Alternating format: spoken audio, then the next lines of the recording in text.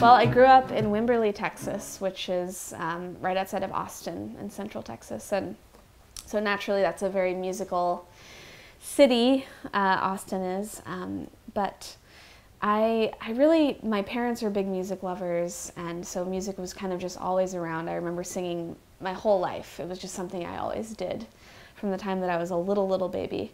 And, um, and I, I guess I started playing the mandolin when I was about 10 years old and fell in love with the instrument. Started listening to Tim O'Brien, who was a big favorite of the festival. Um, Gillian Welch, Nickel Creek, Chris Thile was a huge early influence. Um, I would say all those people were were big reasons why I fell in love with acoustic folk bluegrass music, um, and eventually wanted to start writing my own music and performing as well.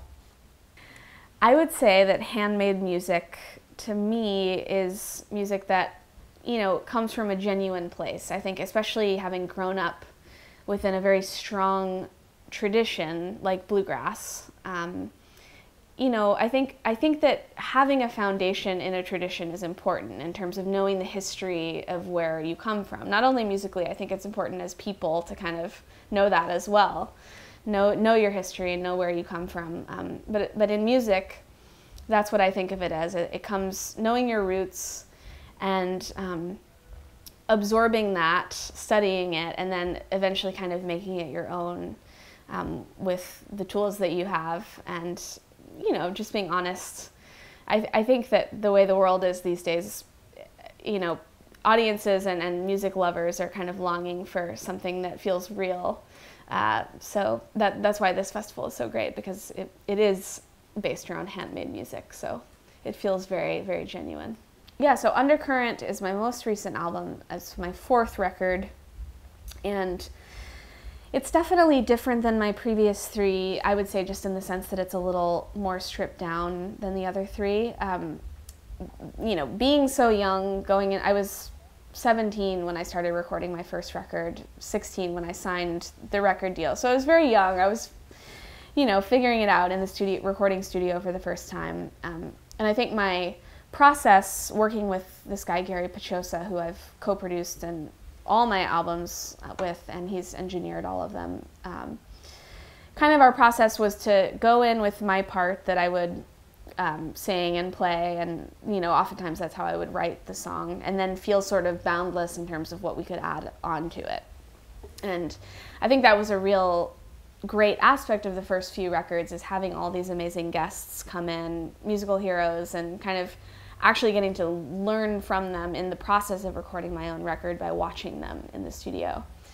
Um, but because of that process, a lot of the songs became very lush, kind of dense recordings. And so I think with these songs on Undercurrent, um, I just playing them for family and friends, sometimes the feedback would be like, that's how we want to hear it. Just, it doesn't need a bunch of other stuff going on, you know, just the, the raw performance of it. And so it's the first time that I'd ever recorded anything that's just vocal and, and what I'm playing. It's, there's four tracks that are just me and a guitar this festival, it's definitely grown a lot since the last time I was here six years ago, but um, it seems to have still maintained, you know, the, the musical aspects that were so special about it when I came in 2011. Um, just, you know, like a like a carefully curated lineup, you know, that, that you can tell thought goes into it and, and that care, people care. Um, and I think the listeners care. I had so many people come up to me today after the show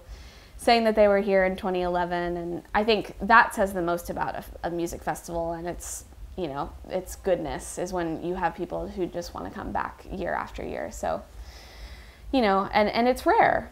I, I think it's actually rare. I, I do go to a lot of music festivals and there's there's a handful that are as special as this one you know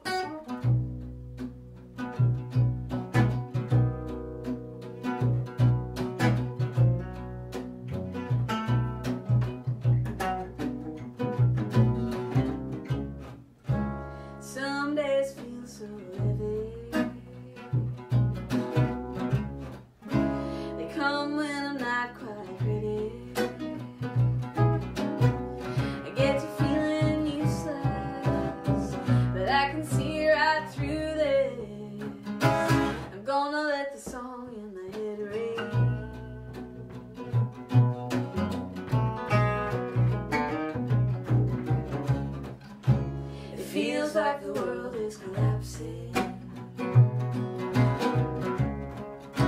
But I already know what's gonna happen. I'm gonna hold on tighter. Cause I'm a lover but I'm also a fighter. The song in the head keeps me clapping.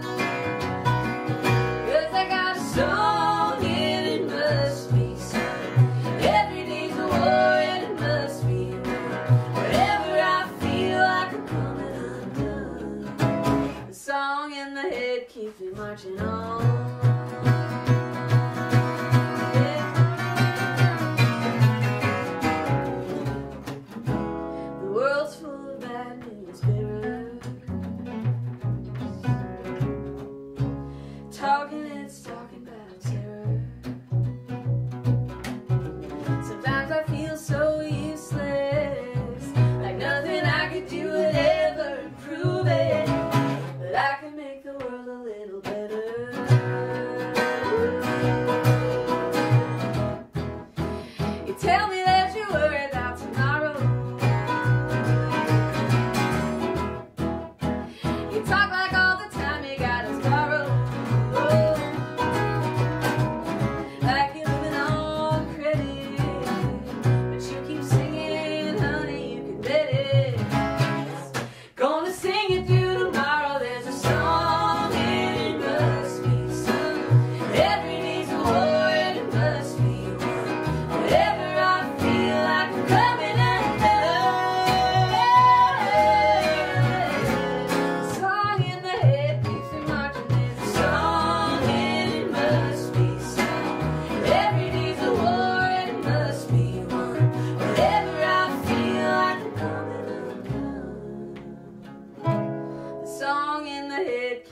marching on.